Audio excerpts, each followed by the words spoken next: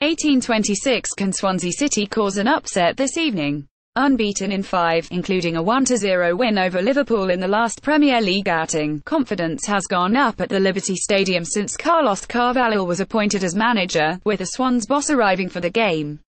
Victory for the Premier League's bottom side would take them outside the relegation zone.